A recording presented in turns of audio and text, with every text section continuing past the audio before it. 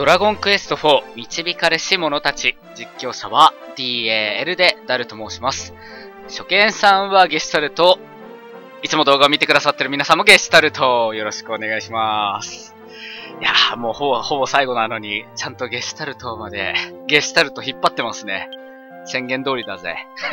途中でそのくだり全然面白くないけどってコメント来てたけどね。コメント見たとき大爆笑しちゃいました。いやー、言われたけどね、やり続ける精神ですよ。折れない心。めちゃめちゃ大事。折れない心が大事です。実況は。恥ずかしいやつみたいになってんな、いきなり。よし、じゃあ行きましょう。今回はですね、えっと、移民者、ドラゴンクエスト7の時から移民っていう制度ができまして、で、プレステ版でこう、リメイクされてるんで、7、4の流れで出てきてるんですけど、この4にも移民があるんですよね。移民の街が作れると、ホフマンがね、代表となって、街の代表となって、移民者を集めて、で、まあ最終段階まで発展させて、まあその上でですね、えっと、特定のモンスターじゃない、えっと、キャラクターたちを集めると、いろんな街に変化するんですね。た、えー例えばですね、商人、旅の商人を合わせて16人移民に集め、移民の街に集めて、プラス人数をそれなりに集めますと、プレミアムバザーっていうのができます。あるいは、えっ、と、王5人集めると、移民の城っていうのができたり、あとはそうだな、シスターと神父合わせて何人かで、修道院ができたり、大修道院だっけ？ができたり、他にもいくつかあるんですよね。で、自分はその他のうちのいくつかのうちの一つをすでに作ってあるんですけど、まあ、そこの紹介は、後々、次のパートというとこで、ことで、今回はその移民者がいる場所をですね、ざっくりですけど、えっと、お見せしていこうかなと。ある程度今人数が揃っちゃってるんで、つまり、えっと、街が完全発展しちゃってるんで、そういう状況下にあると、つまり人数が揃っていると、なかなか移民者が出てこないっていうのがあるんで、まあ、たまに出てくる可能性はあるんですけどね、ゼロじゃないんですけど、もう30人以上いるんで、確率がかなり低くなってくるんですよね。今何やってるかっていうと、リロードを繰り返して、移民者がいる可能性があるとこを何度か見たんですけど、ここに大体いるんですけどね、いなかったんで、まあ次行きましょう。これ、ぜひ参考にしていただいてね、移民を集めていただけたらなと思います。順番に行くぞ。エンドール。でですね、このルーラで飛べるとこ以外にも出てくるんで、それも紹介していきたい。えー、こちらエンドールは2箇所あります。まずは、ここですね。今、明らかに不自然に画面が移動したと思うんですけど、回転したと思うんですけど、狙いはそこ。あの、昼と夜で、えーモブさんたちの配置が変わるんで気を、お気をつけ。この部屋に、右上におばちゃんが寝てたりするんで、そういうこともあるんでお気をつけ。お昼。ここにいます。この、この部屋に確か、この、こんな感じで、佇んでるんで。うん。これがエンドール。INN。結構長くなりそうだな。リロードしないで、もう軽く説明するだけでいいかな。出ないんですよね。ある程度人が揃っちゃうとね、出ないんですよね。だいたいこの辺にいたかな。あるいはこっちだったか。ここに一人います。エンドール。で、ボンモール。ボンモールはですね、地下の牢獄まで行きます。ちょっと遠いんだよな。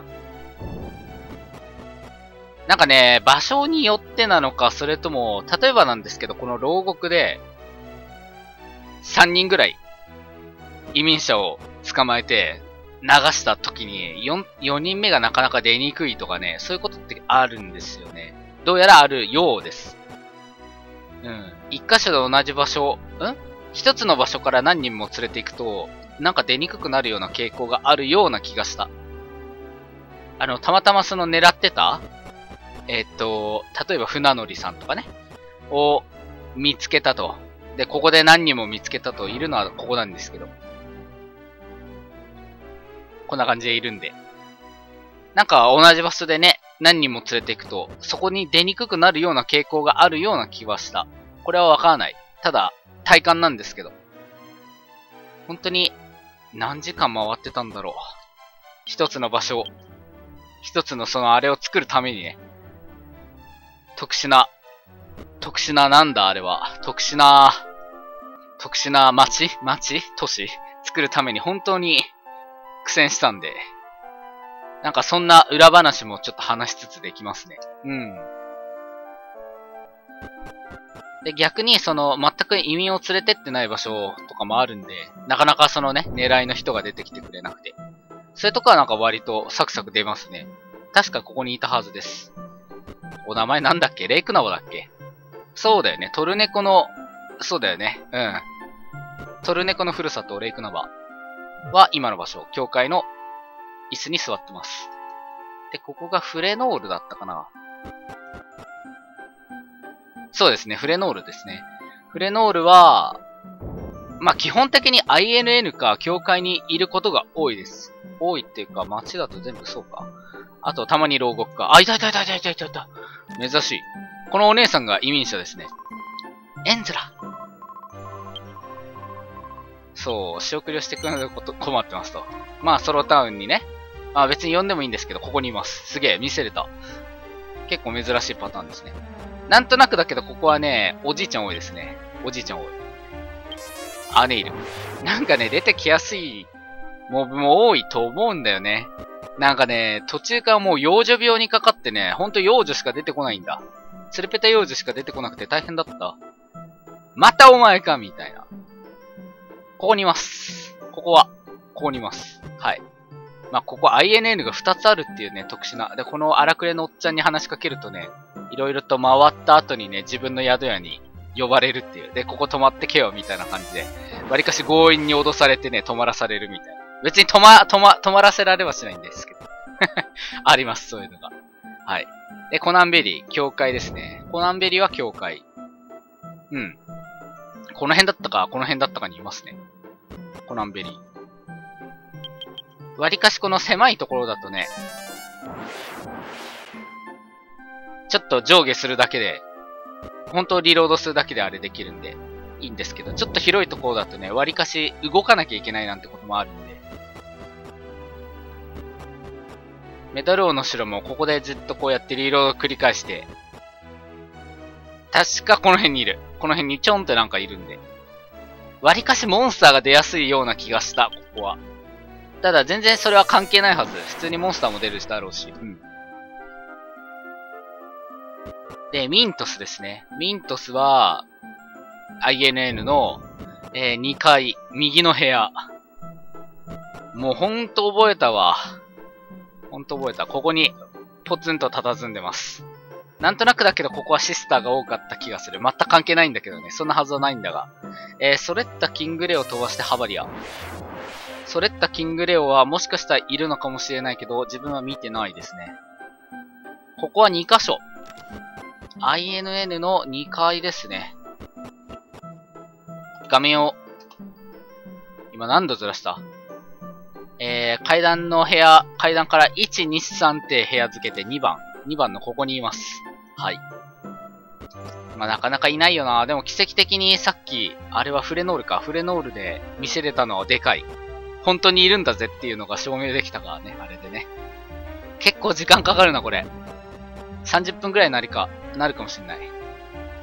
えー、っと、教会にもいます。確かこっちだったかな。こっちでこんな感じで座ってたような気がする。はい。えー、っと、ルーラー、ハバリア。自分はその、一度も見つけられなかった場所があるんですけど、ネットには書かれてた。本当にいるのかどうかわからない。ここ。ここなかなかめ、あ、いたすげえこれが実況プレイ動画の面白いところで、結構あるんですよ、こういうことが。実況中は起きるんですよね。この選手移民ですね。うわ、すげえな何回も何回もここ来たんですけどね、一回も現れなかったんだけど、どこに出るかわかんなかったからわざわざここまで見て、シスターの隣とか見て、いねえなぁと思って何度も繰り返したんですけど、出たよ。実況中も出ちゃうあたりな。これが実況動画の怖いところ。本当にね、プレイ中に何か起こすんですよ。何かが起きる、本当に。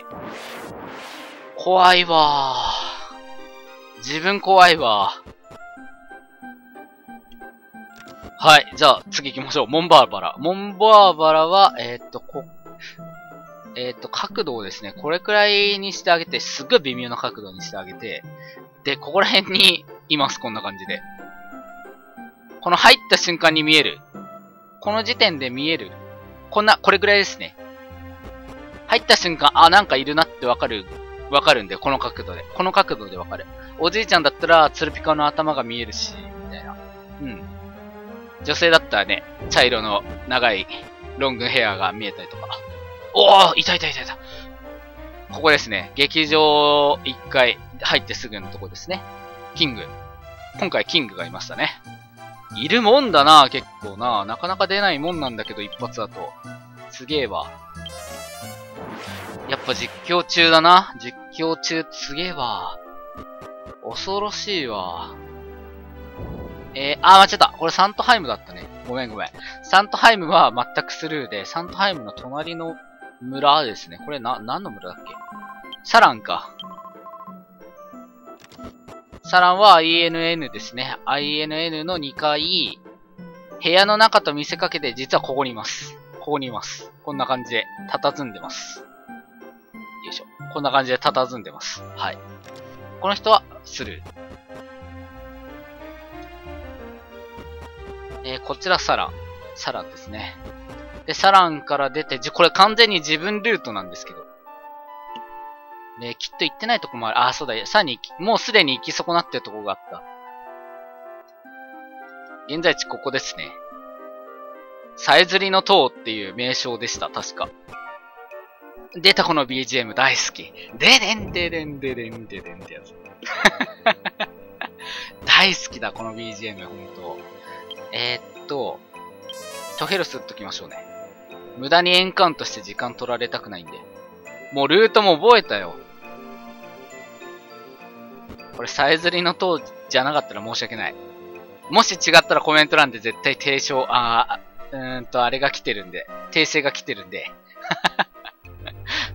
絶対してくれてるんで、リスナーさん優しいから。出るなよ。出るなよ。フラグじゃないぞ。よしよしよし。サイズイの塔のね、ここにいます。なぜかここじゃなくて、ここにいます。多分ここに物が落ちてたからだろうね。トヘロスっちゃった。まあいいや。えー、あー、出た出た出た。無限ループ、ルーラー。えー、っと、ハバリア、サントハイム、テンペ、あー、行き損ないがあったな。エンドール。今行きます。エンドールから左斜め下に行くと、これですね、OK の墓があるんで。ここははぐれメタル狩るポイントでもありましたね。OK の墓に入って、えー、すぐ、右上の、お、いたいたいたいたいた骸骨がいた。キングダムハーツでもいたな、骸骨キャラが。ディズニーで割かし人気なキャラクターがいたよね。名前がパッと出てこなかった。まあ、いた場所が見せれたのはでかいですね。じゃあ、テンペ行きましょう。はい、テンペ。テンペは、超楽。INN がすぐそばにあって、で、1回しかないんで、ここら辺に佇んでますんで。はい、テンペ楽。テンペいいよ。テンペは割かし、狙ってる人がよく出てくれた自分の中では。テンペから右下に、東、東南、南東、南東に住んでもらって、こちらの祠、えー、この辺に佇んでます。佇んでます。はい。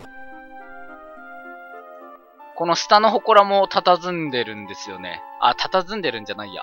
INN があるんで、うん。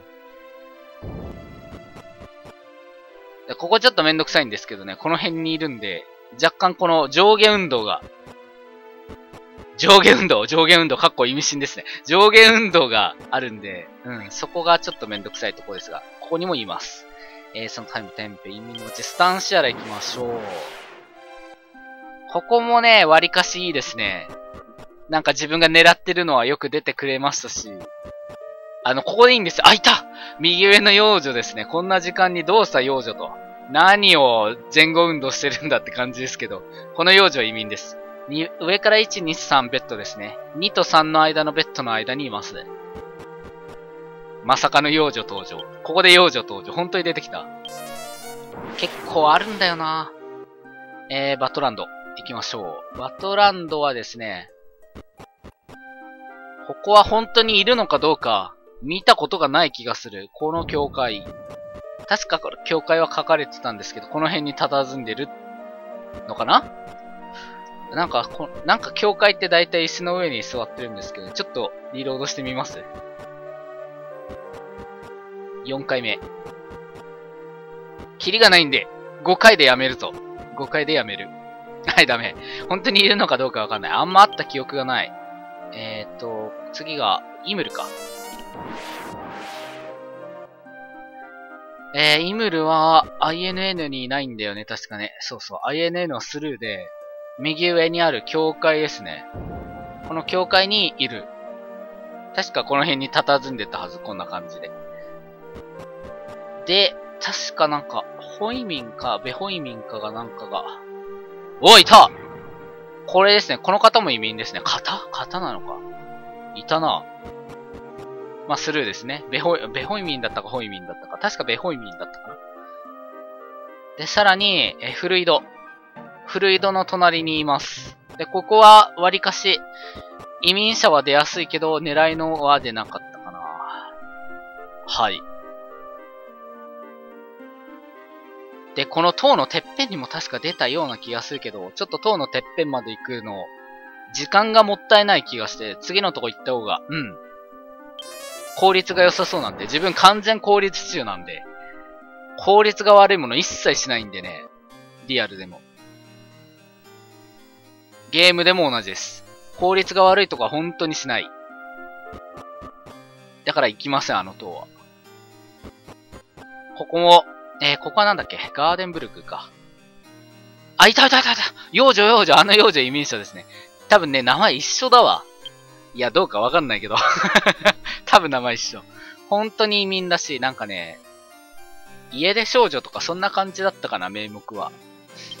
あー、ロザリヒルって言った。確か家出少女っていう流れだった気がする。まあ、ただの幼女ですね。誘拐されても知らないぞって感じだけど。さあ行きましょう。リバーサイド。ロザリーヒルは出ない。リバーサイドもちょっとめんどくさいんだけど、船でわざわざ峡谷の間に入っていって、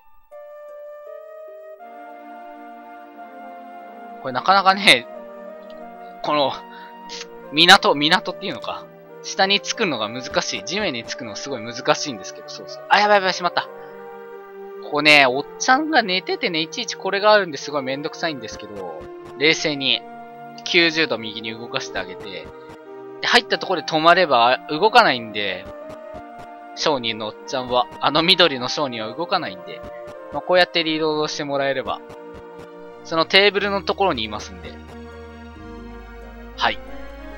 で、ここはですね、もう一箇所ありました。いいよ。ほい。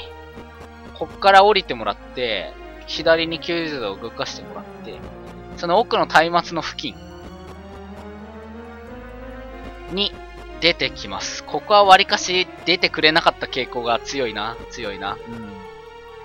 その、キャラは出てくるんだけど、なんか天空人が多かった。天空人エルフ系が多かった気がしますね。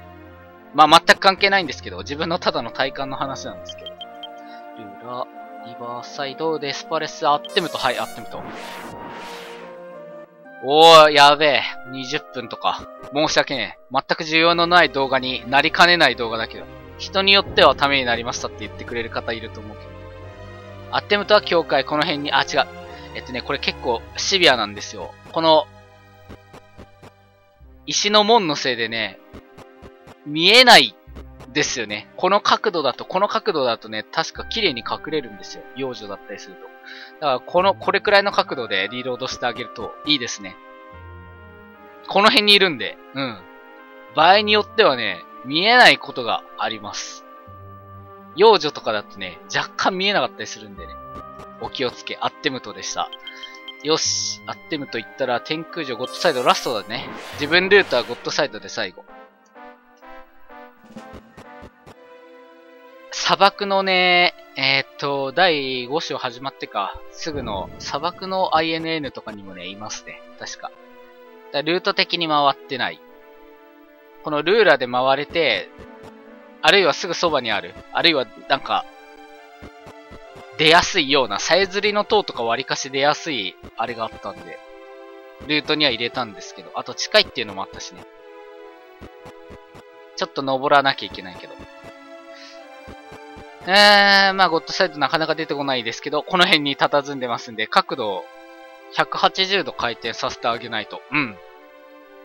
見えにくいんで、このようにカメラを変えてあげて、リロードしてあげると良いかなと思われます。よし自分ルート回れてご紹介できたんで、これでよしとしましょうか。あと一つ疑問っていうか、ネットでその、見てね、ルートを自分はけ決めたんですけど、あ、狐ヶ原っていうね、地名があったんですよ。どこだよ、狐ヶ原とか全くわかんなかったんで。まあ調べもしなかったんですけど、どこなんだろうね。そんな地名の場所あったかなと思って。まあ、ズルーラーで飛べないからどっちにしてもルートには入んないんだからね。まあ、ここ、今まで紹介した中以外にもきっと出る場所はあるはずです。えー、こっから西に進むと、海辺の村があるんですけどね。左下のでっかい大陸の左上にある、あの、若干ちっちゃめの大陸でピカピカ光ってるあれが海辺の村なんですけど。乾きの石をゲットできたとこですね。あそこの INN にも確か移民者が出るはずです。はい。あとご紹介できてないのどこだろうな。バトランドとか？バトランド行ったっけ？ライアンの故郷は確かルーラーで飛べなかったよね。あ、いや、行ったか。あれ？記憶、記憶が 混同してるぞ。えバットランドバト、あ、全然行ってるわ。うん、全然行ってた。ごめん、失礼。ライアンごめん。全然動画出てないから、存在感が。そうですね。うん。だいたいご紹介できたんじゃないかなと思います。はい。では、えー、っと、移民、移民者のいる場所リスト、えこれにて終了させていただきます。ご視聴ありがとうございました。お疲れ様でした。